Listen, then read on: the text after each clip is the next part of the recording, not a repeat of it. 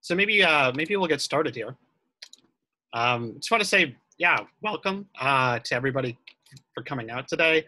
Um, this is our interdisciplinary religion group. This is our last meeting for the semester in April here. My name is David. I help coordinate programs uh, UW Center for Religion and Global Citizenry, which hosts the IRG, but beyond that, we're a general hub for interreligious dialogue, formation, and study on campus Ulrich Rosenhagen. He's the director of the center. Um, we used to be the Lubar Institute. We have Chuck Cohen here, who is the director of the Lubar Institute. So, uh, you know, some figures here. Um, this group, the IRG, Interdisciplinary Religion Group, uh, it's a little bit more academic facing than other things we do. We bring together graduate students, postgraduates, faculty with interests in religion to share and workshop their ongoing research, discuss theoretical and practical issues involved in the study of religion, and to help form connections uh, across departments here at UW-Madison. So we rebooted this group this semester, having run it in the past, and we su successfully met one time this semester before before the pandemic happened. Um, and with the messiness of everything last month, we opted not to meet. And so we're meeting again here on Zoom, and um, I think it should work out well for us. Um, we're happy to be meeting. So this is our last meeting for the semester. Uh, we're considering some possibilities of meeting over the summer. I think there seems to be some interest in having a reading group. Um, the the actual uh, substance of that kind of group is still fuzzy for us, and there's opportun- maybe opportunities to do other things too. So, um, if you're interested in a reading group or in something else, feel free to shoot me or Ulrich an email. You could also uh, you could just send me a private chat in Zoom right now to say, "Hey, I'm interested." Some of you uh, responded on a survey that said you were interested, so we'll be contacting you at some point in the next next couple weeks and figuring out what we can do for that. Um, yeah, and just a couple reminders about this meeting. We are recording the meeting, so um, you may be on our recording. We're going to post on our website. And yeah, I'm sure you've done a lot of these kinds of meetings. Um, we'd prefer it if you would mute your mic when you're not speaking. I'm looking at, and everyone is muted, so that's great. Good etiquette. Um, and feel free to interact in the chat. I think Tyler will invite you to uh, to ask questions in the chat and maybe even just offer comments. So really feel free to, to be on the chat and um, as much as you like. So without further ado, I'll introduce Tyler Lehrer, our speaker here. Uh, Tyler's in his fourth year as a PhD student in the history department here at UW-Madison. Before this, he completed his MA in religious studies at the University of Colorado Boulder, studying women's ordination disputes in Sri Lanka. Tyler is a historian of early modern Indian Ocean religious and diplomatic networks. As we'll see today, his current research examines connections across Buddhist kingdoms in the southern Asian regions what are now Sri Lanka and central Thailand. His ongoing investigations aspire to chart the emergence of ethnicity and religious, political, and interregional affiliation as these became galvanized and salient in an increasingly interconnected maritime world especially in the context of the Dutch East India Company's mediation in and between these polities. So without further ado, uh, I'll hand things over to Tyler Lehrer to give us our, pres our presentation today. So thank you, Tyler. Thanks so much. Um, let's see, get into, uh, try and share my PowerPoint here. Can everybody see PowerPoint instead of me? Okay, I'm getting some nods, some thumbs up. Perfect. Um, so I want to start by, and how's the volume? Can everybody hear me all right? Great. Uh, it looks like in this mode, I can't see uh, the chat. So uh, I do want to invite people to pause and uh, er, uh, ask me questions, uh, stop me.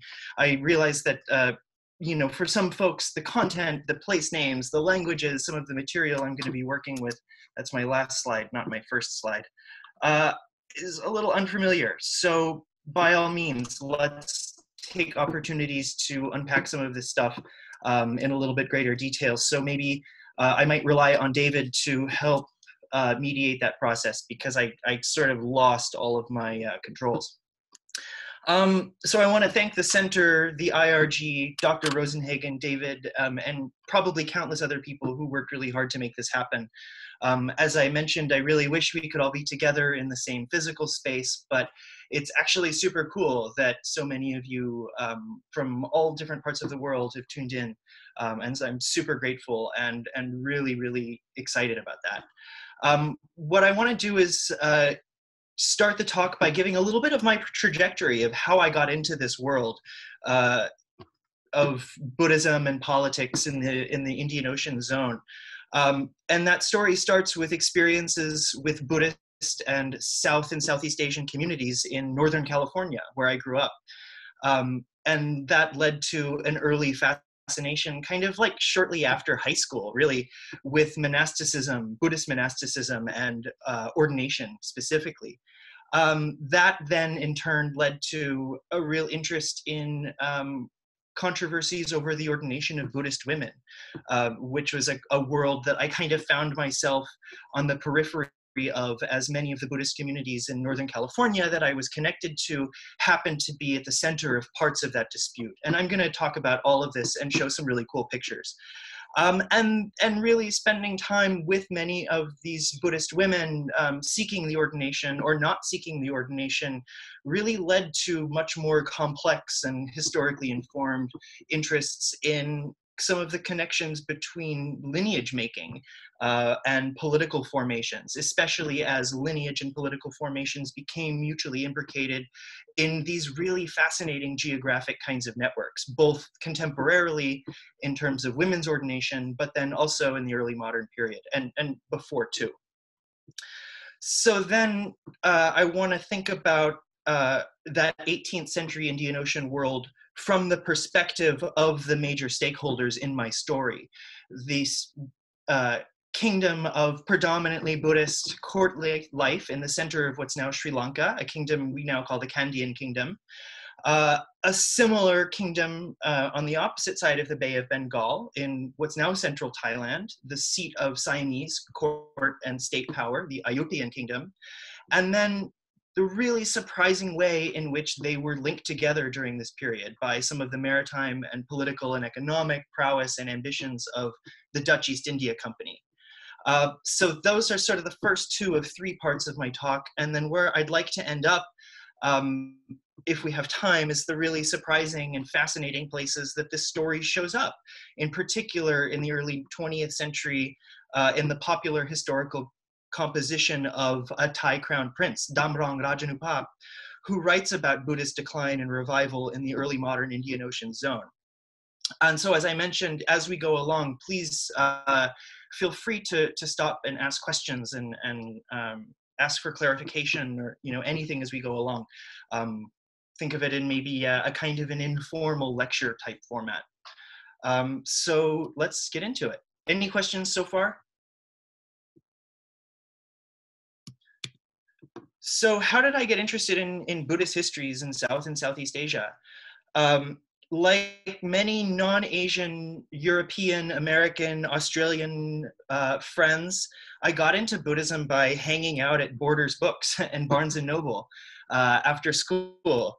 Uh, I read like everything I could in high school about Buddhism. I was just like that flavor of nerd, I guess, and uh, quickly decided that I was interested very quickly with what was presented to me in the kind of Barnes and Noble Buddhism section as Theravada. Um, not Tibetan Buddhism, not Zen Buddhism. I was really interested in what I understood then to be uh, a tradition that presented itself as the most authentic, the most pure. Like that was just into my like 19 year old brain. That was like so fascinating.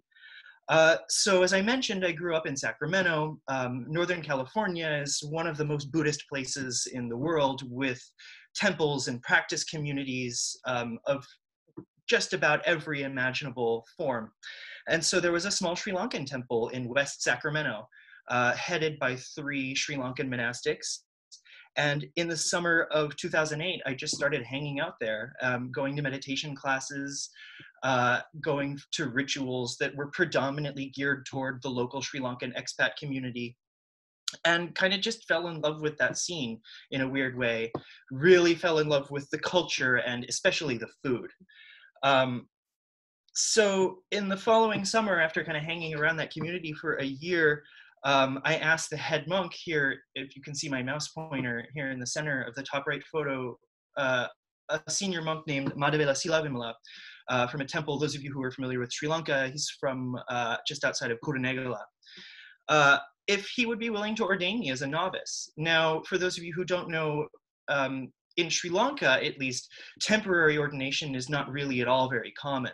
But in Thailand and a lot of mainland Southeast Asian forms of monasticism, for young adolescent males to ordain as a monk, either a novice or a full monk for a summer, uh, usually around three months, although sometimes maybe up to a year, is an incredibly common practice. And in some, in many respects, it's like a, a kind of a rite of passage, a, a socializing sort of rite of passage that makes a male, in many respects, deemed to be fit for marriage i think.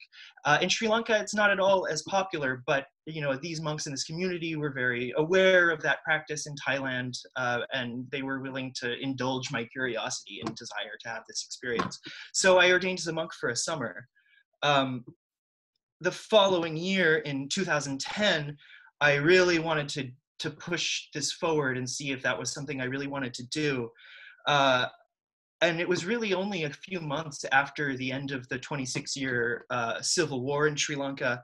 And I went just kind of as like a Buddhist tourist on my own um, and traveled around the country with monks. Only about, you know, maybe about half of the country was available for foreign tourists to, to visit at the time, um, in large part because I, I believe um, of course, ongoing political instability, demining operations. But what I what now occurs to me is I don't think they wanted people taking photos of uh, the large IDP camps that were in the north, uh, northern third of the island. So I could only go as far north as uh, many of you will recognize this is Sigiriya and Mihintale was about as far uh, into north into the cultural triangle as uh, a white tourist could get at that time. Um, so I just travel around with monks and you know really uh, continued to explore those communities. Um, and around this time, 2008 to around 2012, there was a massive international debate circulating in the broader Theravadan communities about the legality and the merits of ordaining Buddhist women um, as fully ordained nuns. Now, many of the monastic communities that I was connected to in Northern California happened to really be part of this uh, dispute. Now, here, and this is a photo I took at a really remarkable event that I was fortunate to attend in, uh, I, I can't actually remember now that I'm looking at my slide if this was in August of 2009 or 2010. Um, such a good historian I am. But this was, it was advertised, the first dual Sangha, and I'm going to explain this a little bit, uh, ordination for female for women monastics uh, conducted in a self-identified Theravadan style or tradition in the Western Hemisphere. So what this means, uh, the kind of dominant paradigm that is agreed upon by some of the loudest and most powerful voices in the international monastic scene in this world, uh, holds that in order for a woman to take higher ordination as a nun, she has to receive first an ordination from a quorum of her peers, fully ordained women. Um, and then that ordination is then supplemented by another one that kind of seals the deal, so to speak, with a quorum of male ordained monastics. Now, in around the by the end of the 11th century in Sri Lanka, um, the lineage of women monastics, that's the word in, in Pali here is bhikkhuni, uh, died out for reasons that we none of us will have enough time to really go into.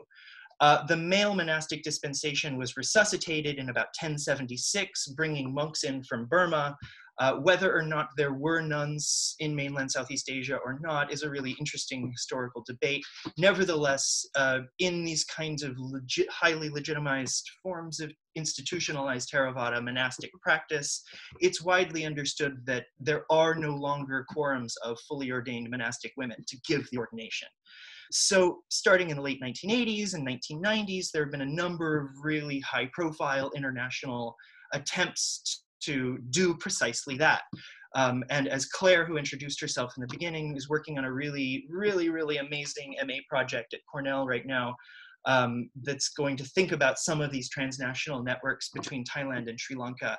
But here's one that happened between Thailand and the US uh, in, in 2010, where you had a number of Sri Lankan and Thai monastics willing to participate in a bhikkhuni ordination at the risk of being excommunicated from their own temple networks. And I just happened to be here um, and kind of got to tag along and attend this thing. And and it was a remarkable, beautiful four hour event in which four women uh, received this contested higher ordination. Um, a German, a Canadian, and two Americans, if I remember, although I might not have that quite right. Um, and then it had an immediate fallout back in Australia and in Thailand and Chiang Mai, the kind of centers of the Wat Nong Papong uh, monastic lineage that, that many of these women had belonged to up to this point. And so I was already very interested in how something that took place in the redwoods of Northern California could have such an acrimonious and wide-ranging fallout in Thailand. Uh, these these kinds of discursive uh, connections were already, although I wasn't yet in grad school at this point, I was just like a Buddhist nerd. Um, I was already very interested in in how that could happen. So I went uh, and I enrolled in an MA program and I, I in religious studies at the University of Colorado because I just was like this was like the thing that I was kind of good at.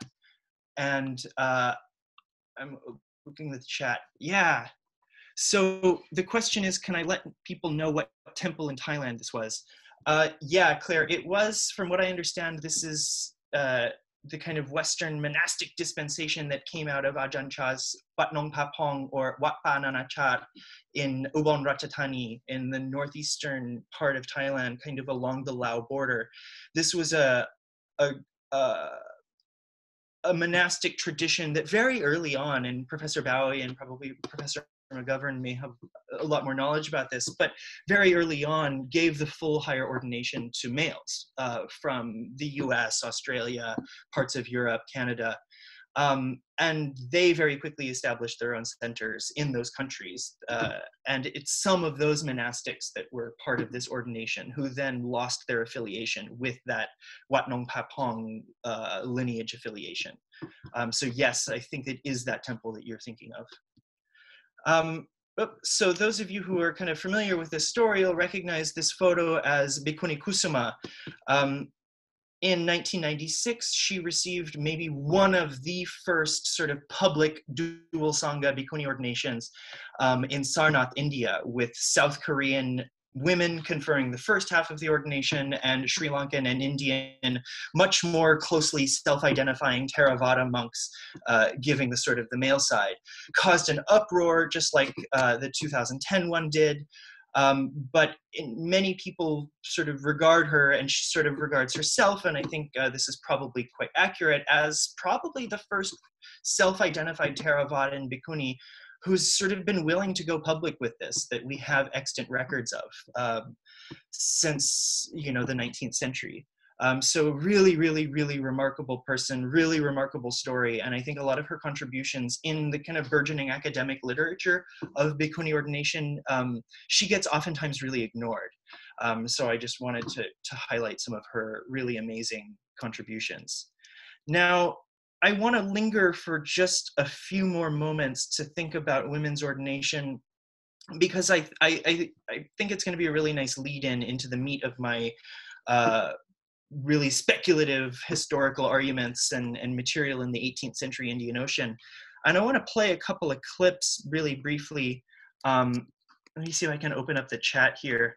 For those of you for whom it might be easier to do this on your own device, I'm going to just share a link. I'm gonna, and then I might as well, while I'm at it, share the next one too. Um, and these are just a couple of quick clips that I shot at a Bhikkhuni ordination in the summer of 2018 um, while I was there doing research for this project, just in case you've never heard Pali being chanted or seen something like a, a Buddhist ordination. Um, so I'm going to shut up for a second and just play this um, just for a few seconds. Can I get a thumbs up if you can hear?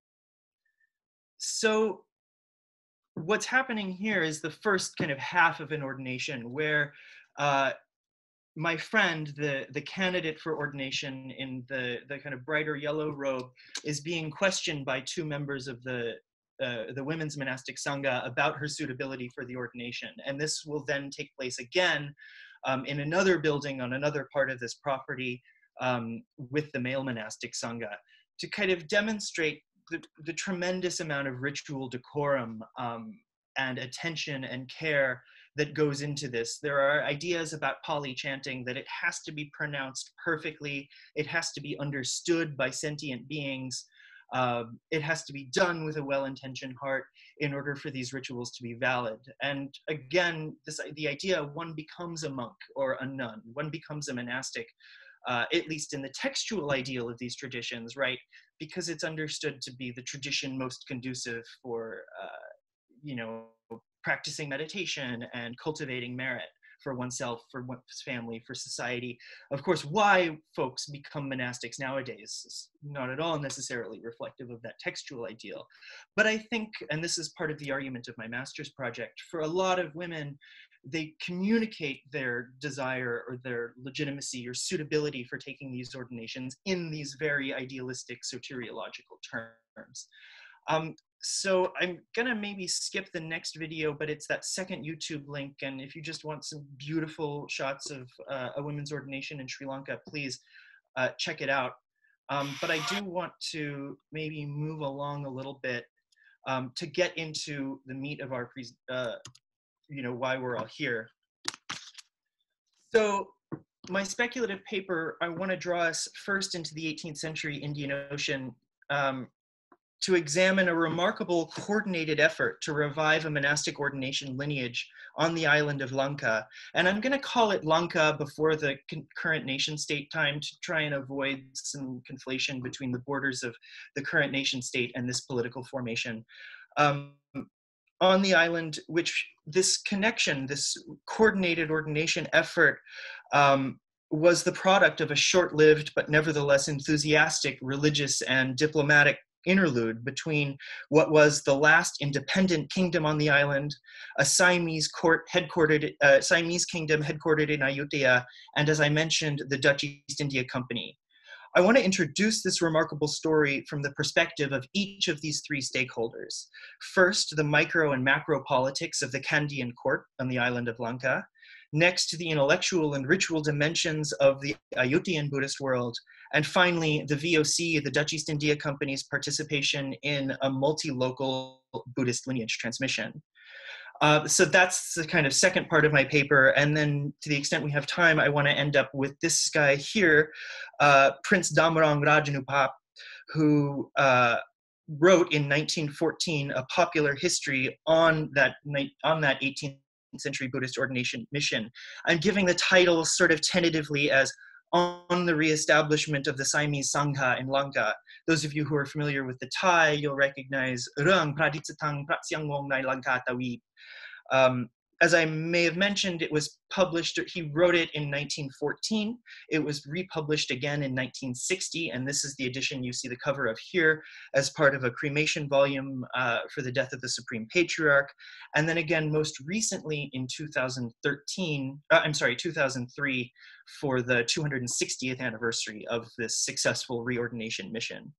Um, many of you will already know, but I'll go ahead and, and for the benefit of those who don't, Damrong was the half brother of King Rama V, uh, Prince uh, or King Chulalongkorn, who reigned from uh, I think 1982 uh, or I'm sorry 1892 to 1915. Uh, Damrong was commander of the army. He was Minister of the Interior and, in many respects, the major formulator of Thailand's education system after this long career in uh, the rapidly expanding arms of the Thai monarchy's bureaucratic state, he took up, it seems, the historical vocation in his retirement and authored, amongst many, many, many texts during this period, um, this one that I'm interested in, an over 500 page uh, popular history that details decline and revival of Buddhism on Lanka, a, a country on the other side of the Indian Ocean, um, but which emphasizes Ayutthaya's role, sort of working with and through the Dutch East India Company to revive the Sangha, the Buddhist dispensation, on that island. Um, and so ultimately, then, it's Damrong's publication, the rhetorical, the religious, the political uses to which an early 20th century history of Buddhist decline, revival, and networked connection in the 18th century could have been put, um, that my argument today um, will ultimately consider. So, that Sri Lankan monastic ordination, um, the word in Pali is upasampada, which is referred to as the Siam Nikaya. And in Pali, Nikaya means something like fraternity, lineage, or chapter. Siam, of course, refers to Siam. Um, dates back to an ordination which took place in Kandy, in the center of the island, in 1753 of a quorum of Lankan novice monks at the Malvatta Rajamaha Vihara. And I'm going to show you some cool pictures of all of these places um, by monks who had arrived from Batavia, the center of the Dutch East India Company's center of power, from the court of King Boromokot um, in the heart of Siam. Now, despite similar importations of Burmese monks in 1597 and again in the 1680s, by the 1730s, there were no longer quorums of fully ordained monks to give that upasampada. So there were no more uh, fully ordained monks left on the island, we understand. Now, in brief, Portuguese hostility toward monastic forms, declining local patronage of institutions, saw the erosion of centralized ecclesiastical structures, centers of learning, and pedagogy. Many of you will recognize this as uh, Anne Blackburn's argument. Um, during this time, then, the Sangha was left with only non ordained so called Ganananse ritual specialists who did not have the higher ordination, who were uh, maintaining the temple's monastic wealth, lineage succession, this sort of thing. Now, one of these figures, um, a monk named Velavita Saranankara, and here we see him on the right here in this temple painting from the Malvatta Vihara, uh, became quite well known at that point for his aptitude with Pali texts, meditation, and, and sort of how to be a good monk.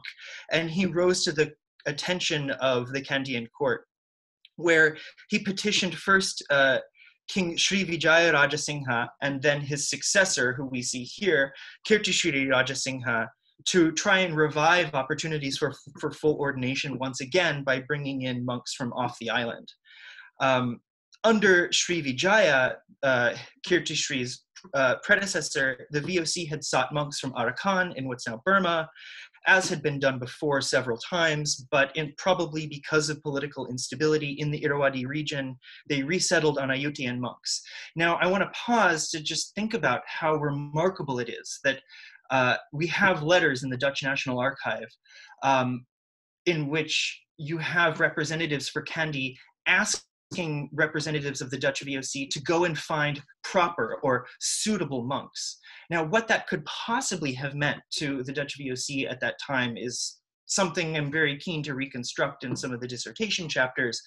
But it's just remarkable that, the, you know, with all this attention and care about lineage purity and so on, I mean, this was the only uh, power they had available to work through to try and get monks from abroad. But I, I just am just astounded by that fact. Um, so eventually then in 1753, under the reign of King Kirtishri, approximately 17 Ayutthayan monks who were led by the Vinaya masters Pra Upali and Pra Aryamuni from a temple off the Ayutthayan so-called island where the Chao Phraya splits into two, uh, called Wat Tamaram, and I'm going to show you some pictures of that too arrived at the port in Trincomalee on the northeastern side of the Lankan island, where they were enthusiastically brought to Kandy in palanquins in a grand diplomatic overture, com- complete with a huge retinue of, of servants and attendants. Now, within a year, by 1754, hundreds of these Upasampada ordinations had been conducted at the Malvatta and the Gedige Rajamaha Viharas. I had Gedige in the previous uh, photo, and here's the Malvatta Vihara. Um, more monks, texts, and gifts arrived in 1756. Um, and finally, again in 1760, a final VOC ship arrived from Ayutthaya.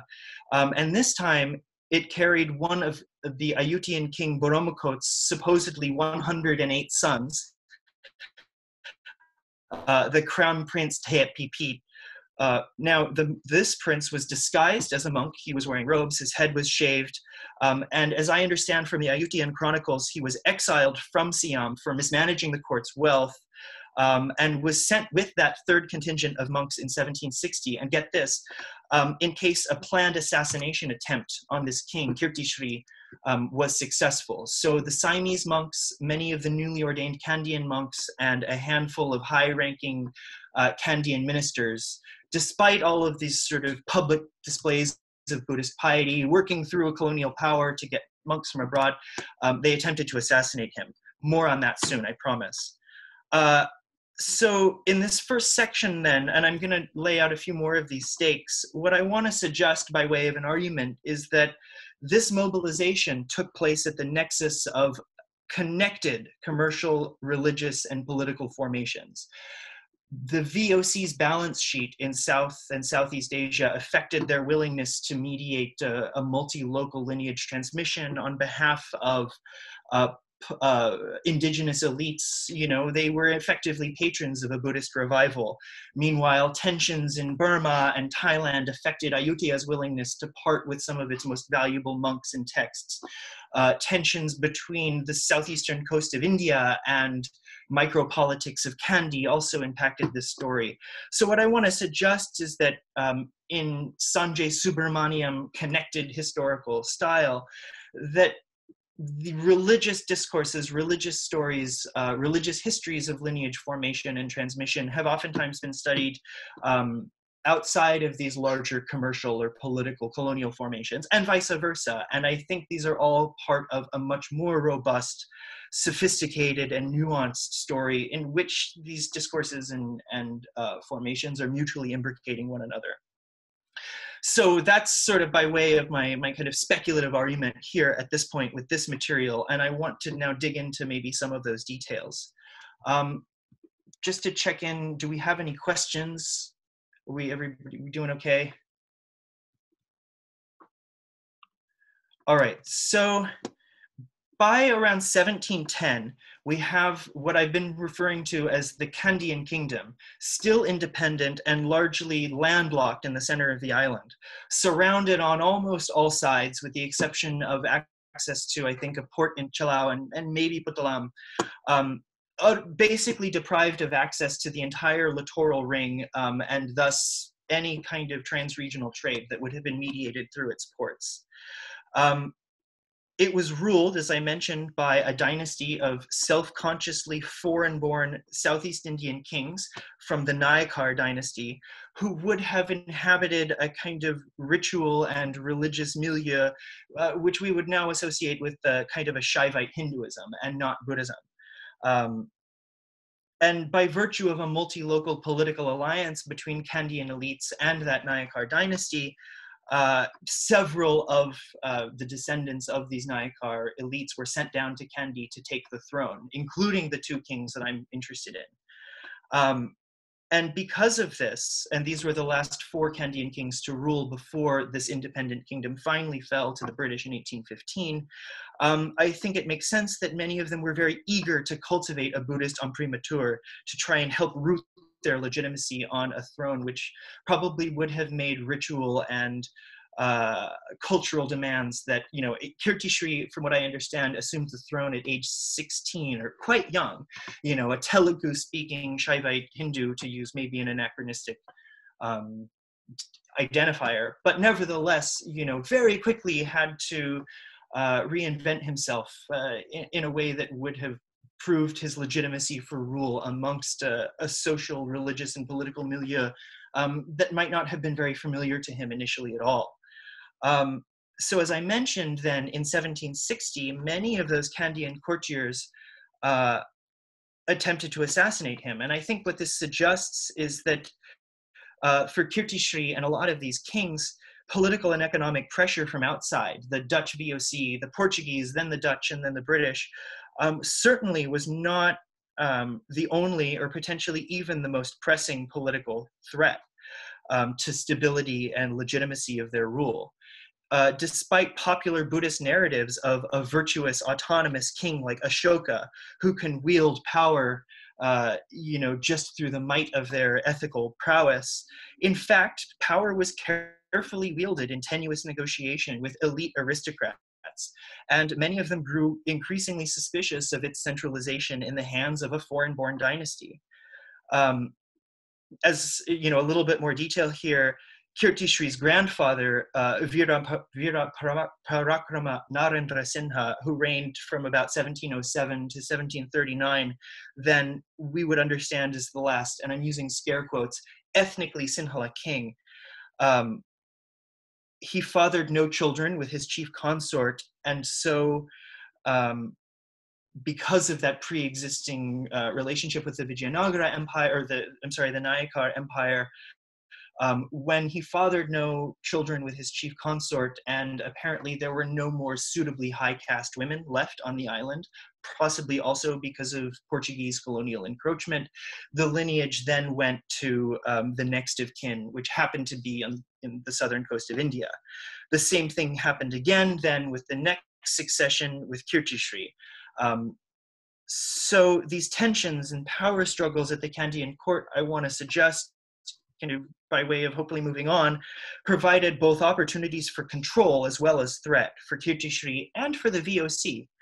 Um, so long as courtiers and aristocrats were internally divided into these clamoring factions, king and company could play them off of one another.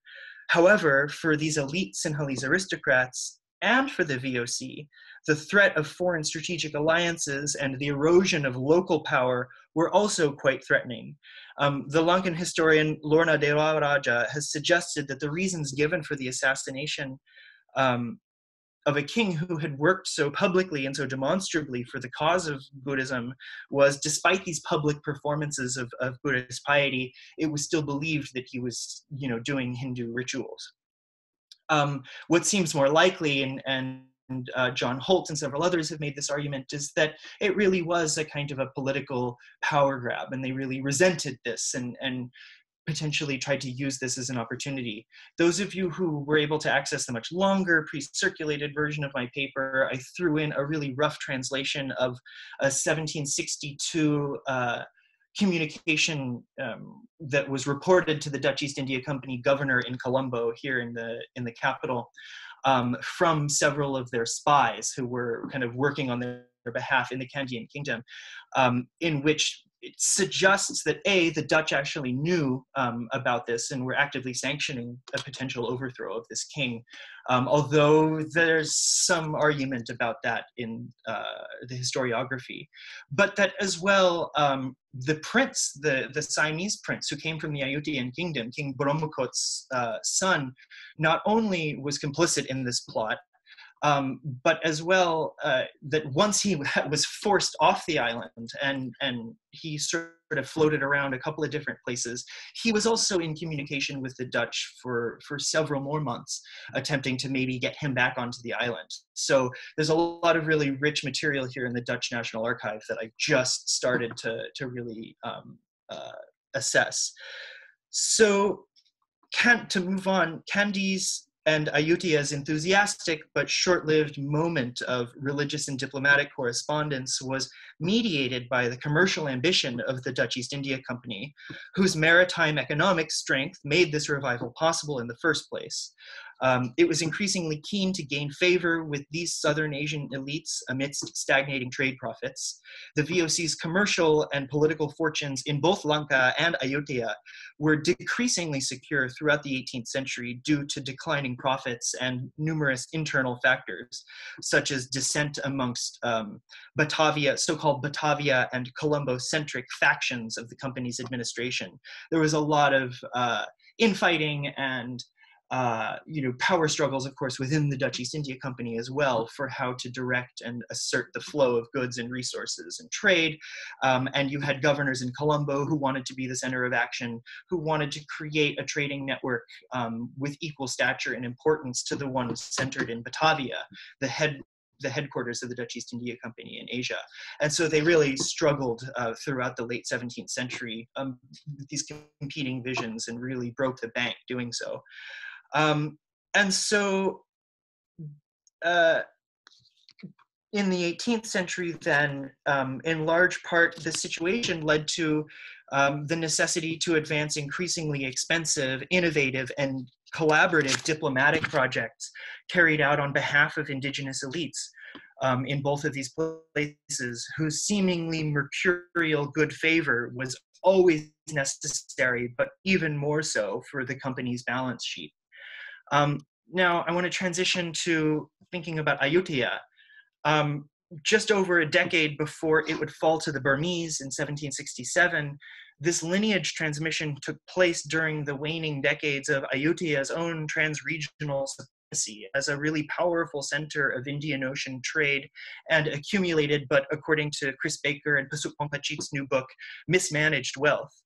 Um, Ayutthaya was increasingly eager to play up its Buddhist vitality and to return the quote unquote gift of the Dharma back to Lanka, the island where you know its own Buddhist dispensations were largely constructed and in reference to or solidified in the 13th and 14th century.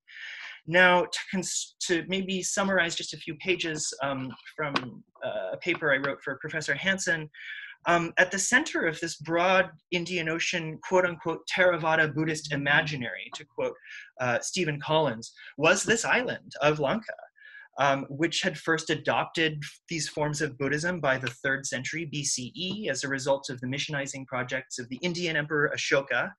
Um, and for Collins, this imaginaire constitutes Pali literature's working fulcrum in which these religious and historical formations are articulatable in terms of uh, ideas about human flourishing um, with long-standing links to the subcontinent. I'm talking about the island of Lanka and its own really impressive record of Pali and Sanskrit textual composition and monastic reform under the patronage of self-avowed Buddhist kings.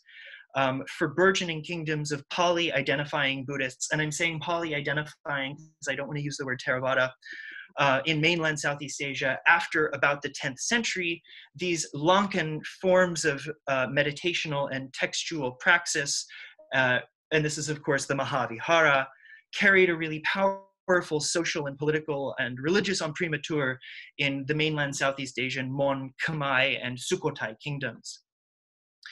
And then with the importation of new ordaining, now back to Lanka, um, with new ordaining monks from the Ramanya kingdom in what's now Burma um, to Polonnaruwa in Lanka under the Lankan king Vijayabahu in 1076. Um, and this was the event in which a male monastic sangha was brought back to the island after it had gone into its most precipitous decline, but not a female one. Um, again, then in the mid to late 15th century, this happened again from, uh, from mainland Southeast Asia to Lanka. And then finally, my dissertation projects focus on a third cluster of reimportations from mainland Southeast Asia um, in the mid 18th century. Uh, knowledge about this broader network uh, was sustained by inscriptional and textual records of these monastic reordination and lineage expansion moments and transmissions. Um, in a recent chapter that just came out in, a, in an edited volume with University of Hawaii Press, Alexei Kirichenko has this really fascinating argument um, that expansive networks of monastic mobility that extended between Lanka, the Thai territories, and potentially as far northwest as the Burman Yunnan borderlands were sustained by this uh, mutually beneficial awareness of a broader Buddhist world that transcended these contemporaneous maritime and political boundaries, porous, of course, as they doubtlessly were, um, and also by the numerous benefits that royal patrons and ambitious monastics alike could have could gain by periodic revivals and diplomatic contacts with foreign polities. Um, so I want to then switch into the kind of final section then and to think about where does this story end up? Where does it go? Uh, how does this story then become part of this broader, uh, uh, you know, political and religious um, mm, uh, uh, flow across the Indian Ocean that does all sorts of interesting work? So I want to argue then in this sort of final section that this lineage transmission is a galvanizing moment um, or rather a defining moment in the galvanization of a form of multi-local historical subjectivity, one that is invoked and imagined to do social, political, and religious work. And by work, I'm thinking about uh, the work-like aspects of what textual composition does, a la Dominic LaCapra, the intellectual historian. Um, that these histories do these kinds of these forms of work in colonial Ceylon, in post-colonial Sri Lanka, and especially in Siam and Thailand uh, in considering some of the historical afterlives of the success of this lineage transmission, um, in my case, as it was wielded by Buddhist popular historians like Prince Damrong, uh, we can better appreciate how they both drew on and hopefully see how they contribute to centuries old modes of religious and pedagogical exegesis, making use of these stories of revival in the early 20th century uh, to shore up forms of Buddhist identification um, amidst any number of potential uh, social or religious projects and anxieties. I am not at all um, an expert in like yet what was really happening in 19th and 20th century Thailand, but one can picture, of course, the British and the French colonial powers sort of squeezing um, uh, the Chakri dynasty in, that dynasty responding by creating all kinds of new, uh, innovative bureaucratic and state apparatuses, of which Damrong was at the helm. And so, in what ways, maybe, is this much earlier moment of colonial encroachment and how these two Buddhist kings worked the main European colonizer on the scene at that time um, into sort of patronizing a, a, a Buddhist lineage transmission? What resonances would that have had for somebody like Damrong? Um, in the early 20th century. I don't know yet, but I'm hot on the heels of trying to reconstruct and, and find that out. Um, so, any questions before I delve into this? I had a question, Tyler. Yeah. Um, yeah, I'm, I'm wondering, so uh, Sri Lanka, Lanka understood and kind of remembered as this fount of uh, Pali or Theravada Buddhist Buddhist life that that gets tra- transmitted to Southeast Asia. Is the reciprocal true? Does, does Lanka understand itself in this way as well? Um, does it understand itself as like we are? You know, we have such this this great important historical role in the transmission of Buddhism, and and why is it that we're without this lineage now? Is um or is it just remembered outside of Lanka? Yeah, that's a really, really fantastic question. Um, and the answer is absolute, a resounding yes. Um, that kind of impressive record of Pali and Sanskrit uh, composition I referenced um, includes a lot of really interesting um, chronicles about the transmission of Buddhism from the Indian subcontinent to Lanka, for instance, under um, Indian emperors, right? And a lot of those texts include really fascinating kind of like pre-lives of the dispensation before it arrives in Lanka. So one I have in mind um, are texts like the Mahavamsa or a collection of literature collectively referred to as Vamsa, um, which are the Buddhist inflected historical chronicles of the island written under the patronage of these kings.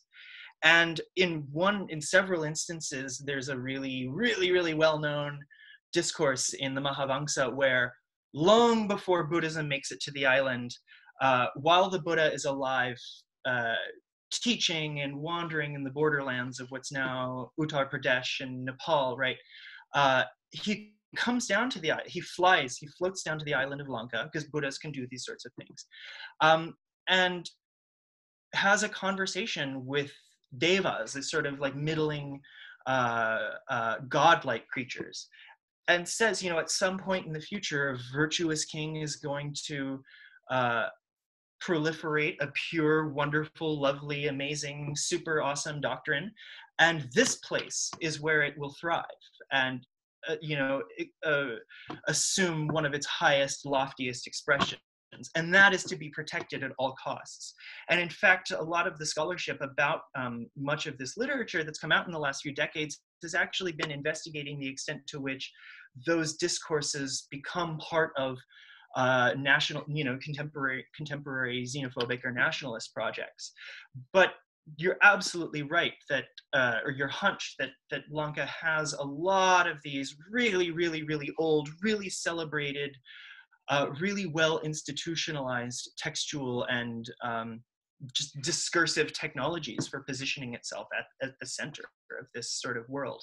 Um, understanding, of course, that this is kind of a second millennium phenomenon, right? Buddhism was born and sort of took root in what's now India, um, and for all sorts of historical reasons, um, you know, largely died out there. So by the second millennium, it was kind of Lanka that uh, worked really assiduously to position itself as, the, as you said, a fountainhead of this of this formation or this dispensation yeah, thanks for that. Um, so I want to suggest that, you know, at least these Thai Buddhist histories, like Damrong's of the lineage transmission, maybe give us glimpses into a mode of historical composition which, rather than centrally aspiring to represent the past as a positivistic account of what really happened, um, instead, at least centrally, aspire to create ethical Buddhists in the present, um, inculcating them, and by extension us, into historical subjectivities which are indebted to the successes of these virtuous Buddhist monks and kings in the past, monks, nuns, and kings in the past. Um, whether oral, oral, heard, visual, textual, um, Buddhist histories uh, invite their listeners, their readers, their viewers to become stewards of ongoing vitality and preservation in the present. Um, I want to show in my dissertation eventually that these modes and contexts in which the success of this particular monastic revival gets narrated across Southern Asia can maybe give us uh, clues into these interregional processes um, coming to identify operational forms of difference. Now, I want to be really careful to note that in the 18th century, I'm using difference because ethnicity, religion, uh, uh, race, class were not really galvanized uh, discourses yet. Of course, by the 20th century, um, much of these processes had gained quite a bit of intellectual steam. But nevertheless, uh, folks in the Indian Ocean region identified one, of them, one another and made judgments about one, one another. What were the technologies they used to do so, and, and how do they continue to um, accrue more and more and more meaning and utility through these successive historical waves and periods. Sort of a, a background question animating a lot of this research. Um, but in addition to, I think, a lot of the political or rhetorical uses to which some of these project, uh, some of these histories are put, I also think that they give us really captivating glimpses into the emotions and just quotidian experiences of everyday people. Um, in who lived increasingly mobile lives in this part of the world. And I'll give you an example of that here in a moment. Um, so back to Damrong. He wrote his text amidst these potentially destabilizing British and French colonial projects in the early 20th century. Uh, the the Thai monarchy was developing all kinds of innovative technologies to maybe rise to that occasion to demonstrate its own uh, uh, its own internal colonial ambitions, its own, uh, you know, capacities to those colonial powers for all sorts of reasons that folks like Professor Bowie and Tamara Loos have produced all kinds of rich arguments about. Um, but maybe in this moment, um, leading up to the 1932 revolution, these kinds of anti-colonial, anti-royalist growing pains, I wonder what this story really did for him. Um, and I don't know yet. So this is a this is a question I'm I'm putting out to, to those of you who research this century much more closely than I do to maybe speculate irresponsibly or not so irresponsibly with me. Um, but nevertheless, why did he tell this story? Why was he so interested in talking about early modern Lanka? What did it do for him? Who was his audience? Um, these are all questions that I'm, I'm really continuing to work with. So let's, let's actually jump into, and we're starting to wrap up here, um, a couple of quick sections from his text. now, before I do that, I just want to show you like Upali, right, um, whose name you see in a couple of places here, was the head Ayutthayan monk sent by King Boromokot from Ayutthaya, um, whose whose own ordination lineage then becomes the sort of seed or germ of the Siam Nikaya, um, you know, which now comprises something like maybe 60 or 65% of maybe all monks in Lanka right now. I mean, it's a hugely important monastic dispensation. And so the, the, the Ayutthayan monk at the center of it in Lanka, in, in Thailand is like, you know this venerated figure i mean he's all over temples in ayutthaya you can pay like a hundred baht and you know make merit to him um, there's coloring books about him this image on the right for those of you who have been to the Malwatta temple so two images on the left are from thailand the one on the right is um, in lanka but he shows up like everywhere like i i don't know who this thai fashion model person is or what she has to do with this but you know, he just is like that well known, I guess. Um, and it's just really kind of kooky to me and, and really fascinating. Um, so the museum where Upali and his cohort of ordaining monks came from, as I mentioned, those of you who are familiar with the geography of Thailand know that Ayutthaya is kind of like a where the Chao Phraya River splits into two and rejoins itself a few kilometers south and Wat Thammaram is just off the left west, western bank of that kind of island. Um, and in 2003, concomitant with the republication of Damrong's text, uh, the Thai and Sri Lankan governments jointly put together some funds and built a museum uh, kind of devoted to this lineage transmission.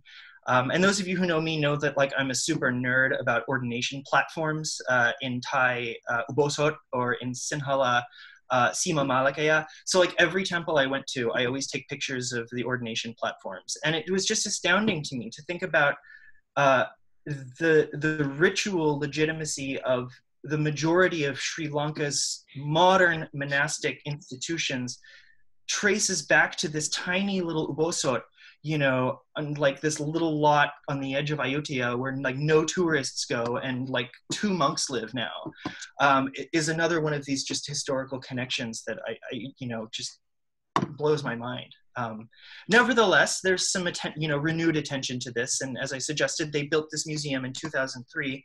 Um, and you walk in, and there's a quote right on the wall from Damrong's text, just right there. Um, and I'll just give the translation. Um, it's clear that the Siamese deputation of monks tasked with performing the higher ordination on the island of Lanka had made a major sacrifice, even to the point of endangering their lives on a dangerous journey for the cause of the Buddhist Dhamma. Their achievement, lauded for its record of vitality and success, is seen in the regrounding of that dispensation on the earth. Of those 18 monks comprising the Upali mission, only seven returned to Siam, and Upali, we know, did not.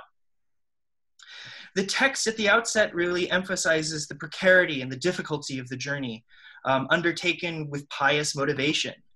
It suggests that despite the risks of the mission, precisely because it was conducted in the service of Buddhist virtues, the desire to propagate the Siamese monastic lineage back onto the island, um, that it was ultimately successful. Uh, the this perspective shows up in all kinds of exhibits throughout the museum, and this one I just love. Um, there are multimedia like videos, so they commissioned um, animators to produce these like three to five minute shorts, which are playing on monitors, and I just have a couple of screen grabs. Um, and it imagines a conversation, which I don't know if it really happened or happened this way, certainly, between Upali, here on the right, the, the head Siamese ordination conferring monk, and Saranankara, uh, the novice who sort of orchestrated from the Kandyan side this entire thing. Um, and it's full of these really affective tones. We were lamenting the disappearance of Buddhism in our motherland um, echoing Damrong's discourse. It was successful precisely because of the grace of the Buddha, these, uh, these kind of protective dharmic discourses of virtuous people doing virtuous things. But not only that, the patronage of our two monarchs. Um, this is an interesting one. Our nations, this is a, you know, at least in English, certainly an anachronistic political concept, are determined to continue exchanging Buddhist knowledge.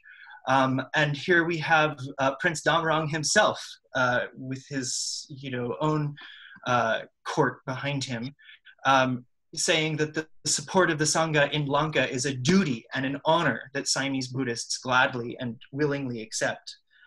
Um, yeah. Do we have a, is there a question?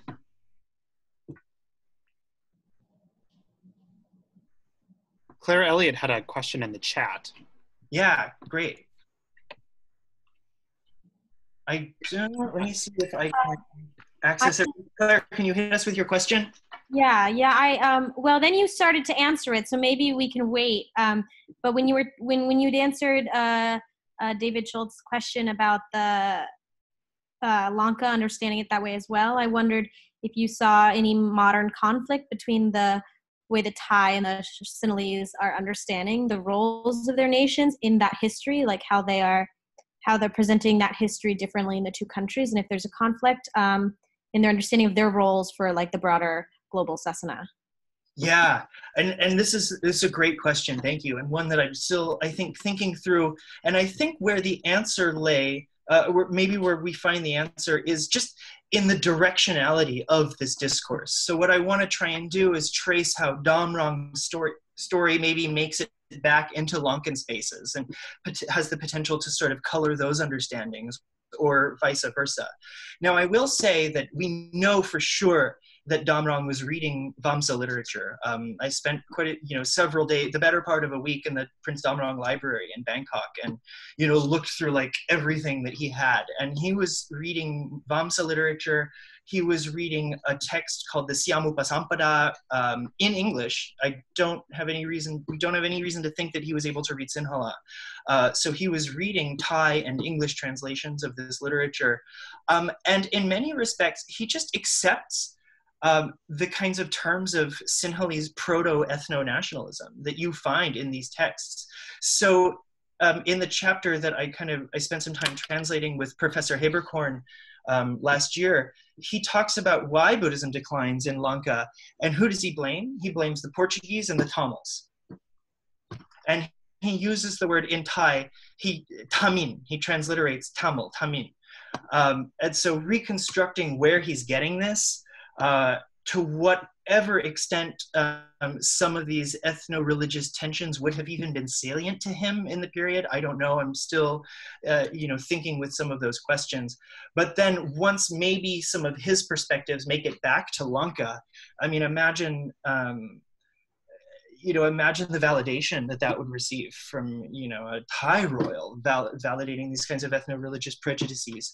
But I don't have any evidence yet in my sort of gathering of these stories um, that that's the case. But it's something I'm super, super, super keen to to think about and and to hopefully uncover some of the just directionality, more details about the directionality um, of these discourses and stories for sure. Thank you for that. Um, okay, this is my last quote, and then and then I'll shut up, and we can have some Q and A, and then everybody can eat dinner. Uh, so in the chapter of his text, which really chronicles the early modern decline of Buddhism, and again, Damrong um, assigns it to the hands of Portuguese missionaries um, and Northern Tamils of the, the Vamsa literature's kind of proto-ethnic xenophobia he pauses to talk about the events of the so-called um, Dhammaseddhi inscription, in which um, mainland Southeast Asian lineages were dependent on and actively sought out the imprimatur of the Lankan dispensation. And I think in a way maybe uh, this is a nice follow-up to David's question about this. Um, he, Damrong writes that in the Lankan chronicles, and by Lankan chronicles I'm assuming he can only mean Vamsa literature, in the reign of King Bhuvekanabahu, um, the Burmese queen Ramati Bodhi of Hongsawadi, uh, let's see, uh, I have a longer quote in my typed paper. So um, uh, let's see, had Mon monks reordained in Lanka, forcing the monks throughout the kingdom to reordain in that Lankan lineage. Uh, the monks who were left to reordain in that lineage in the next generation were the only ones that he calls uh, the sort of forest monastics. So they weren't like those city monks. They were like the forest monastics, much more virtuous, uh, much more sort of authentic uh, Mahavamsa style practice. Um, so I think what this text suggests, and I'm kind of really reaching out on a limb here, he's describing the 15th century reordination of Burmese monks by their Lankan counterparts who had made the voyage to the Lankan Mahavihara, which um, by then was renowned for its learning, its advanced meditation practices, and its high standards of monastic conduct. um, to compress maybe about 20 pages of one of my comprehensive exam papers down into like a few impoverished paragraphs um, as we wrap up, we suspect that by the 18th century, the so-called Theravada Buddhist uh, approach located its textual and ritual genealogies within the doctrinal, doctrinal approaches that crystallized by the 12th and 13th centuries in that Lankan Mahavihara. And again, Theravada probably was only used to describe this, certainly in 1950 World Fellowship of Buddhists, and maybe not so much earlier. So I realize I'm using it uh, somewhat anachronistically. But in the 12th century, this uh, Anuradhapura centered uh, monastic form uh, secured material and royal patronage over its rival, the Abhayagiri Vihara, and was in a position then to assert that it uniquely had preserved the distinct pedagogical and ritual practices associated with an unbroken and a completely accurate dissemination of a closed, maximally authoritative Pali literary corpus. This is a lineage genealogy they then highlighted their own role in, ranging from those nuns and monks present at the first council of the Buddha's death uh, through the medieval period, and perhaps as Buddhist historians like Damrong seek to establish beyond.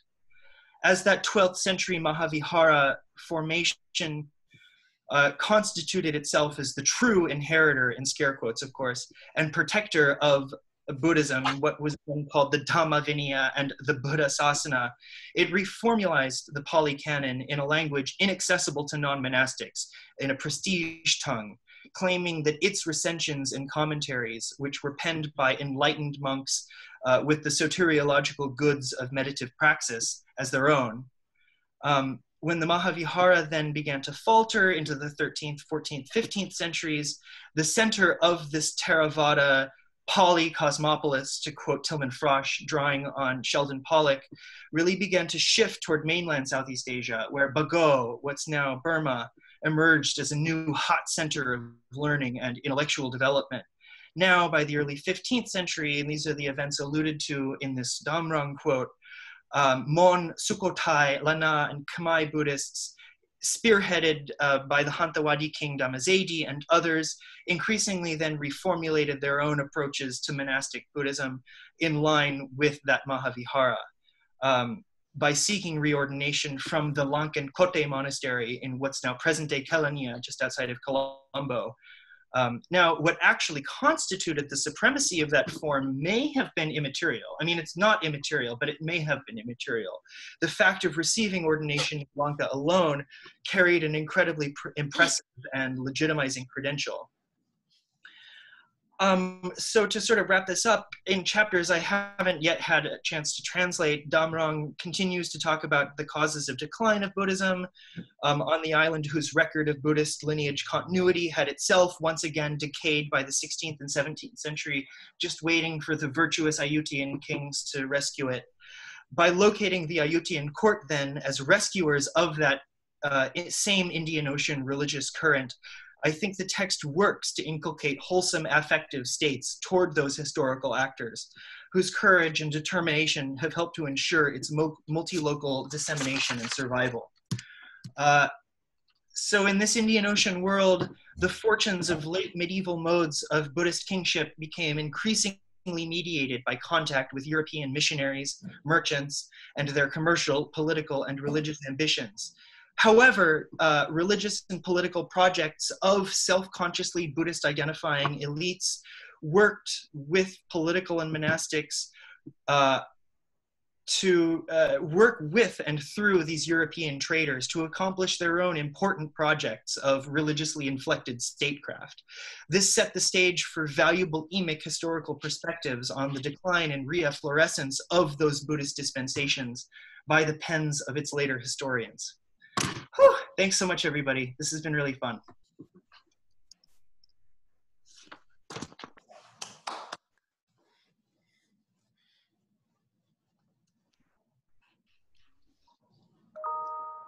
Thank you, Tyler, um, on behalf of all of us. Uh, we have 15 to 20 minutes for um, just open Q&A with Tyler here. So feel free to jump in, anybody who wishes to do so.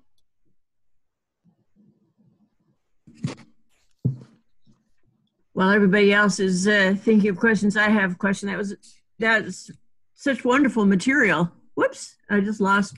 Did I just lose everybody? I can hear you. I think you're good. Okay. I, I touched something, but okay. So I was thinking through going back that that the lineage had died out in the 11th century, and I was just thinking throughout the irony that they're trying to revitalize Buddhism. Why did it decline? And so you started to comment on that, that Damrong was uh, going along, that it was the, the Portuguese and the, the, the Tamils, but why, wh- what was it about the Portuguese uh, Tamils? I, I kind of want to know a lot more about various explanations for the decline of Buddhism uh, going back 11th century all the way all the way forward. Oh, yeah, yeah, of course. That's such a. Of course, the Portuguese, right? Yeah, we're not in in on the island until the 15th century.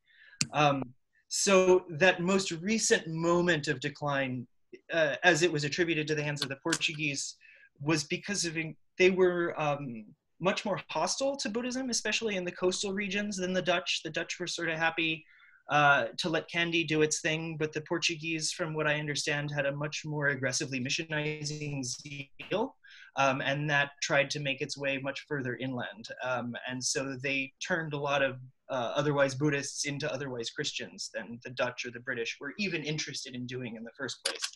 Um, from what I understand. Now, of course, that's not not the only attributed reason for the 18th century, or late 17th and early 18th century decline. Um, of course, infighting in the Kandyan court uh, was part of it, disputes over monastic property and succession, um, and probably a whole host of other reasons that uh, you know I'm not super aware of. I wonder, uh, Bruno or Ben, um, is there a big one I'm missing?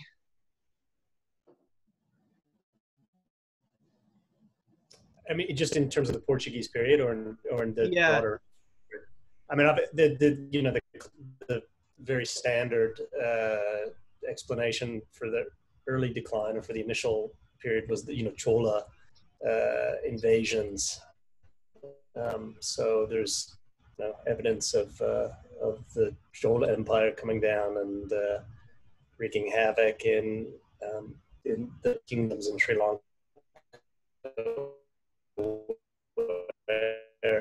It's definitely worth mentioning that um, given that so much of this material is is used for these kinds of nationalist appropriations i i try and and and in also only being able to tell so many corners of this really you know huge and everyday growing story um, you know i wanted to maybe de-emphasize some of the the tamils did it discourse but of course that was there. I mean a very uh, perhaps flip um, flip thing to add would be to say that this is just the inevitable decline of the sasana, uh, which Buddhists have always talked about. And, but I think that does maybe point to something that this is not, um, well, it is maybe more of a generalized pattern that there, this is something that Buddhists throughout, uh, perhaps even before the 12th century, are really concerned about. And um, Alastair mm. Gornall's new book, he's arguing that actually uh, concerns about decline actually seem to have um, fostered greater interest in renewal as well. Mm. So uh, he's talking about this this period where you do have immediately before like Kalinga coming along, destroying the Polonnaruwa kingdom, the establishment of Dambadeniya. That's when you have scholar monks perhaps most interested in revitalizing Buddhism, clarifying what they see as the true essence of, of the real Buddhism.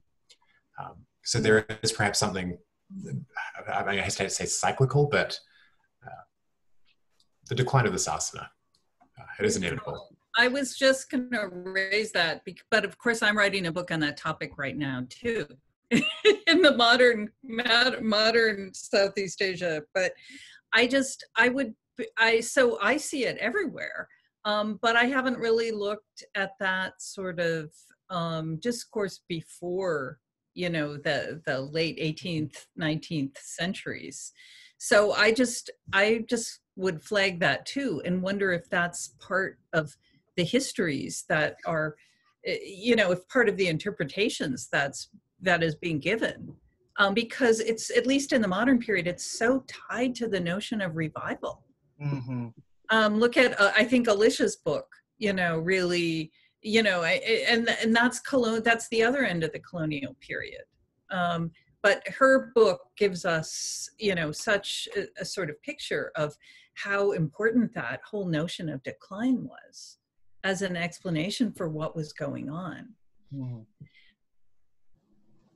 can i can i just like i don't know if anyone wanted to say anything else about decline but i had another question too I, I would just.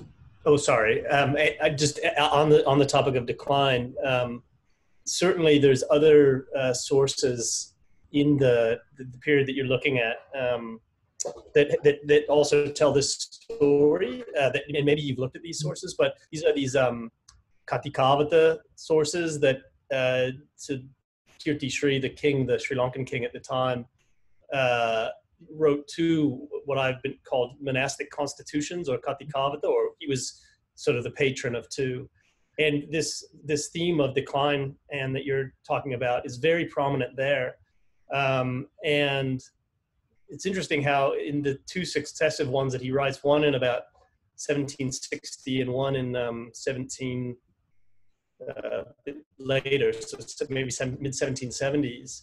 Um, the revival that you're talking about through Upali uh, is really it's very pronounced in the second one, and that story and crediting Ayutthaya as being the source for revival is very prevalent there. And then in subsequent Katikavata, even later Kandyan kings and, and in the 19th century, you get the same story of decline, which is very, as Anne was saying, is very important for the for the revival. But then the explanation for the revival is very different, or the the role of Ayutthaya seems to be downplayed. And maybe you may have looked at those sources, uh, Tyler, but if you haven't, there it's um, yeah, it might also be helpful for you. Yeah, thank you. I've, I've spent a little bit of time. So Tibatuave and a few of these other um, Kandyan envoys who sailed to Ayutthaya and back have written a couple of these travel logs and from what I understand, Tibatuave was the uh, one Kirtishri hired, despite his his sort of role in the assassination attempt. He was one of the chief composers of the sort of update of the Vamsa literature under Kirtishri's commission, right? So I, who? So my question to you is, who who were composing these Katikavata? Do we know? Um, how closely were they connected to Kirtishri and and and some of his ilk? Uh, but, I mean, to answer your question, I haven't I haven't jumped into those texts yet, but it's on a, it's on my list. Uh, yeah, I mean, we don't have great evidence for who wrote them. The texts themselves say they were um, sort of composed through like councils of um, these uh, Karaka Sabhas of um, these executive committees of monks uh, in consultation with, uh, you know, and, the, and then the king sort of takes credit for promulgating them. Yeah, yeah. Mm.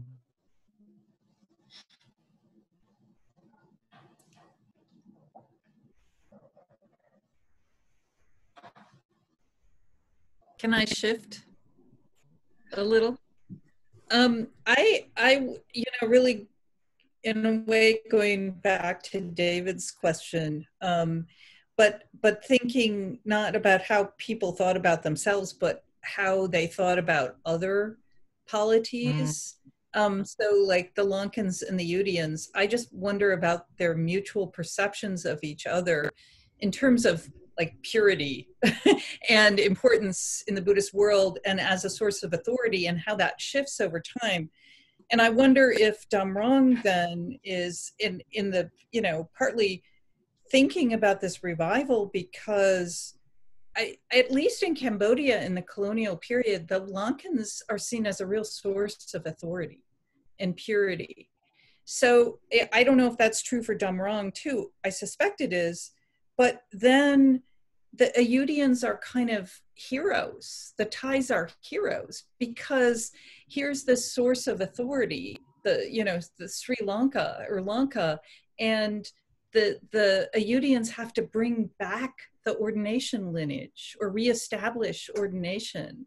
So I wonder if he's in a way using it in this sort of double-edged way. Mm-hmm. Um, to, to talk about the importance of the Lankans, but also using that importance, historic importance of the Lankans to bolster the Thai Buddhist purity, the purity of the, you know, of, of the Thai Buddhists. Yeah, it's really, really great question. Thank you. I think that um, uh, let's see. So I'm trying to think of a one place to start. Maybe one is something that I learned about um, in doing the Bhikkhuni research. And this a Bhikkhuni I met, uh, a, a woman who had just taken the higher ordination, had told me that um, she wanted to go from Thailand to Lanka to receive the higher ordination, precisely because the male monastics who were doing these ordinations were in the Siam Nikaya lineage, and that that back in Thailand might give her a little bit closer chance. Of course, this isn't true, and of course, the person I'm talking about is is Bhikkhuni Dhammananda Chatsumarn Kabilsingh, right? But these notions of one another's lineage purity are, you know, oftentimes maybe used to hedge those kinds of bets um, against moments of decline or contestation about lineage validity.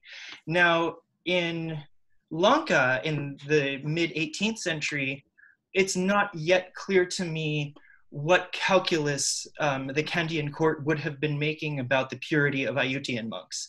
From everything I've looked at and a lot of the materials that you know we have records between Kandyan and Dutch uh, VOC officials, and from what I understand, they wanted any monk um, and that they looked to Burma first because that's what they had done in the 11th century, that's what they had done in the 15th, and then again in the 17th century. Um, but the Dutch were not about to get monks from Burma for them. So, how and why they settled Ayutthaya is something that I'm still trying to figure out. I'm working with my friend Lodewijk Wagenaar at the University of Amsterdam, and we're kind of digging through to try and understand that process of negotiation, why they settled on Ayutthaya. Now, for Siam, for, for Ayutthaya itself, definitely. I mean, I think everything I understand about its own self-constituted lineage transmission story, maybe at the broadest possible level of generality, it came from Lanka, right? Um, in the 13th century, in the beginning of the Sukhothai kingdom, um, and of course, if there were forms of Buddhist praxis that kind of predated that, that were maybe more esoteric in the periphery, but the sort of dominant state-sponsored Buddhism, starting with Sukhothai, was constructed directly in reference to those Lankan monastic forms. To be able to return that back to the place that it came when it goes into decline, I mean, imagine um, the kind of inter- emic Buddhist hermeneutical significance that that would have in terms of, you know, Buddhists will say in Pali, there's a there's like a phrase something like the Dharma is itself the most valuable gift. The highest gift is the gift of Dharma, or something to that effect. And to return that is like maybe the most virtuous thing um, that can be done in that uh, ethical world. Um, and certainly something that kings and monastics would improve both their own soteriological star and hopefully along the way their own political fortunes in doing. But but the question like what um, Kandy thought of Ayutthaya is something that's super super interesting. We do have a few. Um, Kate Crosby, I think, and, and um, has an article in which we learned that some of the meditation texts that were sent over with the Ayutthayan monks in 1753 and 1756 uh, introduced new forms of, of shamatha and vipassana meditation.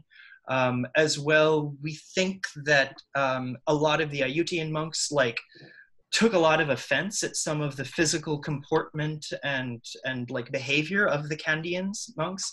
Like apparently some of them wore head coverings in the temple and things like that. So there was some negotiation about how to be a monk the right way as not only was the ordination lineage looked to from Ayutthaya, but these sort of micro practices um, were also implicated in the transmission.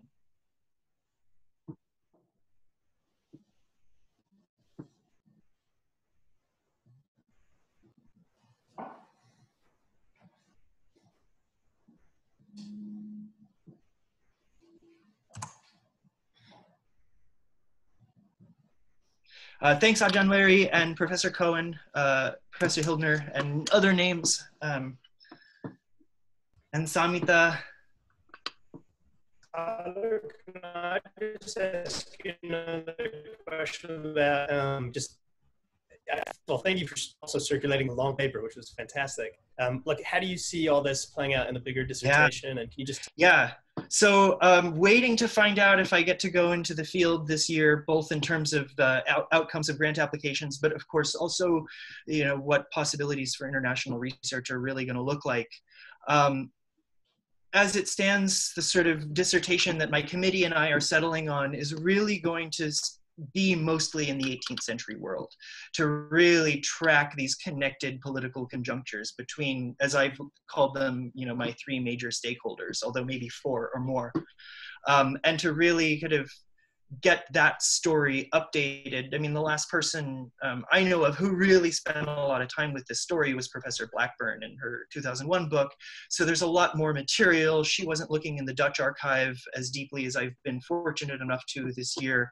Um, and she wasn't really invoking as many of the Thai sources. So I'm working with a new framework to kind of retell that story from a much broader, connected um, lens and really to think about the implications that that story has for the micro interactions between the VOC and Kandy.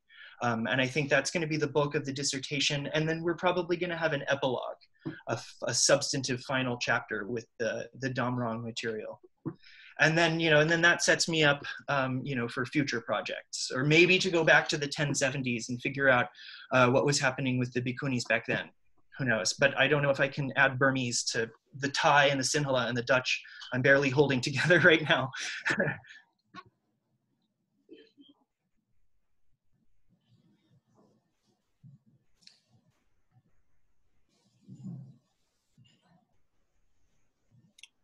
I don't know if Killian, if you want to read your question off. I'm not sure when you sent this in the chat. Oh, oh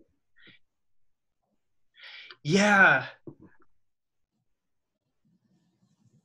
So that's a great question um, about whether or not the conceptual lex lexicon of memory, remembering, and forgetting is going to be useful in telling this story. One of the things that occurred to me when I was in the Wat Thammaram Museum space um, was the sort of like visual representation of those Tamils, those non-ordained Ganinnanse monks, and those Portuguese with their funny hats, like visually represented for me in the museum where do those visual ideas come from? I, I don't know yet. Um, who were the artists that were commissioned to put these things together? Uh, you know, and in many ways, so you have like this wonderful exhibit, and if any of you have a chance to go to Ayutthaya, please go to this museum. Um, you have this like the three causes of Buddhist decline: Tamils, Portuguese, and then the Ganinnanse monks. Um, and then it summarizes it again in a few panels later and it says because of tamils and european colonial encroachment buddhism declined it like summarizes it again for us in another exhibit now you ask about forgetting and um, remembering i mean in the contemporary lexicon of sri lanka's ethno-religious politics they probably would have called Kirti a Tamil. I mean, he comes from this sort of South Indian Shaivite kind of. I mean, he was more Telugu side, but but he was called a Malabar, um, and so it was a Tamil king who worked through European colonizers to make this possible in the first place. That's totally elided in in the representation and curation of the museum exhibits.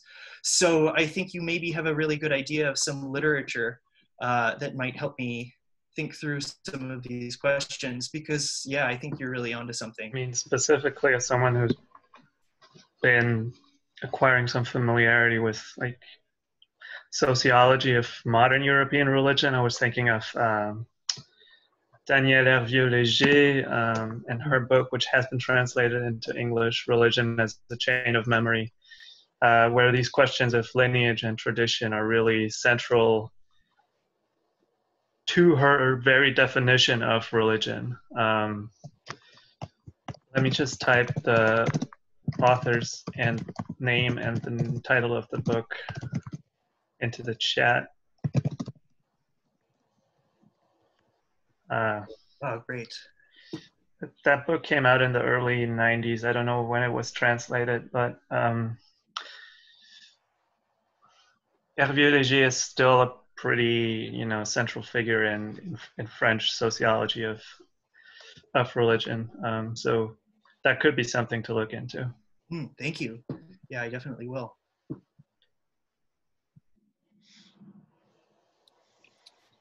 Well, with that, we are a little bit uh, past our 5:30 uh, time here. Um, I don't I don't have very much more to add. I think we had a good discussion. Hopefully, some of this was helpful for you guys and for Tyler as well. Um, thank you, Tyler. I'll just give you a nice little round of applause. Thank again, yeah. This has been really great. Thank you. Um, yeah, uh, we'll be emailing stuff about future IRG goings on. Um, so please stay in touch. Um, yeah, uh, wishing you the best at the end of end of your semesters, your summer, moving forward here. Um, feel free to stick around, chat for a few minutes if you'd like. I'll be around. Tyler, stay. So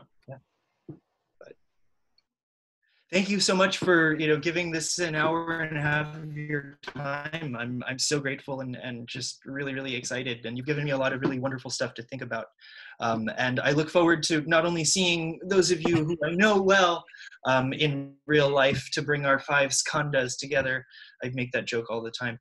Uh, you know when this pandemic passes, but also you know showing up to the center events next year. Hopefully, if uh, you know this allows. Um, yeah, it seems like a really, really phenomenal community.